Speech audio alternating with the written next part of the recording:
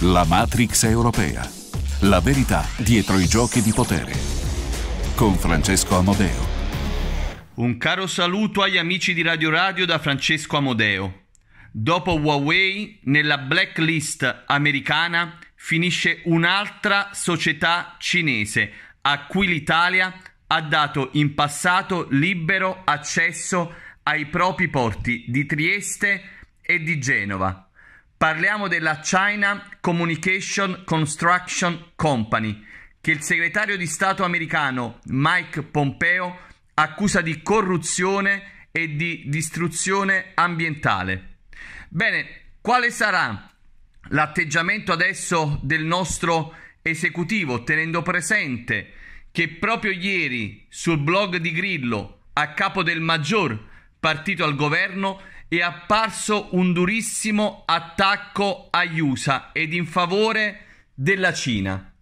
In un articolo che nel titolo faceva appello all'esigenza da parte dell'Europa e dell'Italia di contenere quella che è stata definita l'irresponsabilità statunitense, sottolineando che rafforzare i rapporti diplomatici tra Cina e Europa è ora più importante che mai per evitare che gli esiti negativi di una nuova guerra fredda voluta e alimentata da Washington.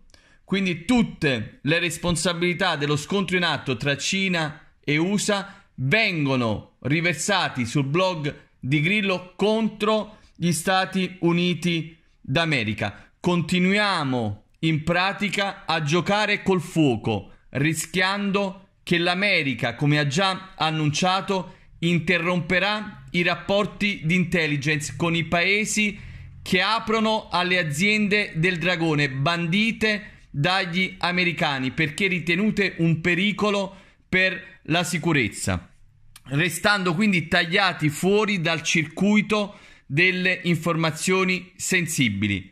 Bene, chi ha autorizzato questa scelta di campo così netta? Gli italiani sono al corrente del fatto che stanno per finire definitivamente nella morsa del dragone, appoggiando quindi una dittatura comunista e globalista allo stesso tempo, ossia quanto di peggio si possa immaginare. Approfondimenti sul sito francescoamodeo.it un caro saluto agli amici di Radio Radio. La Matrix europea. La verità dietro i giochi di potere. Con Francesco Amodeo.